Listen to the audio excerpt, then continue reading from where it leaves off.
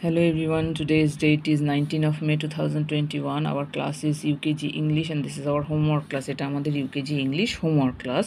আজকে আমরা এটা করব বলে কি কি লেখা আছে দেখো fill in the blanks with A R N. A R N দিয়ে fill in the blanks করব আমরা সবাই জানি কি জানি যখন কোনো শব্দ ভাওয়েল দিয়ে শুরু হয় ভাওয়েল মানে কটা ভাওয়েল আছে পাঁচটি vowel A E I O U যখন কোনো শব্দ এই পাঁচটি ভাওয়েল দিয়ে শুরু হবে ওকে? তার তার আগে কি বসবে? অ্যান বসবে। ওকে?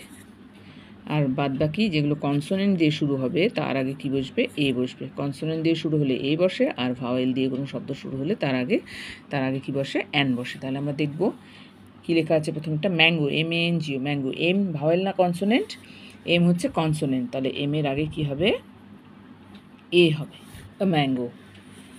হলো এবার তারপরে কি আছে? A double P L E apple apple মানে আপেল। তাহলে ভাওয়েল দিয়ে শুরু হচ্ছে এ কি? ভাওয়েল না কনসোনেন্ট এ হচ্ছে ভাওয়েল তাহলে কি লিখব? এ হবে না অ্যান হবে? অ্যান হবে। অ্যান অ্যাপেল ওকে এইভাবে করতে হবে। তারপরে কি আছে? E double G egg egg মানে ডিম। তাহলে ই ই ভাওয়েল না কনসোনেন্ট ই হচ্ছে ভাওয়েল তাহলে vowel V O W E L vowels তাহলে ই হচ্ছে ভাওয়েল তাহলে ভাওয়েলের আগে কি হবে? এ হবে না অ্যান হবে? অ্যান হবে।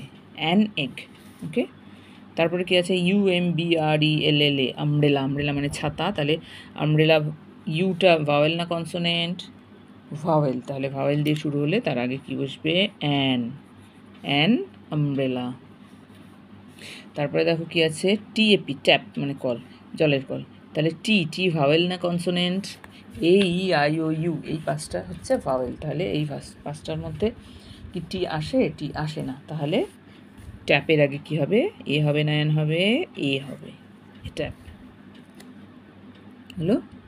তারপরে কি বলেছে? S H I R T shirt জামা শার্ট তাহলে এস এস ভাওয়েল না কনসোনেন্ট এস হচ্ছে কনসোনেন্ট তাহলে কনসোনেন্ট দিয়ে কোনো শব্দ শুরু হলে তার আগে কী বসবে? এ না অ্যান এ।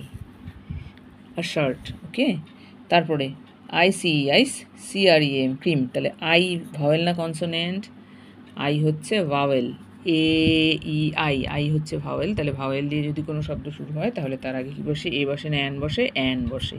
তাহলে আমরা আইসক্রিমের আগে কী বসাবো? A, N an ice cream okay তাহলে এটা তোমাদের ইউকেজি ইংলিশ হোমওয়ার্ক খুব ভালো করে বোঝার চেষ্টা করবে কোথায় অ্যান আর কোথায় এ বসবে ওকে থ্যাংক ইউ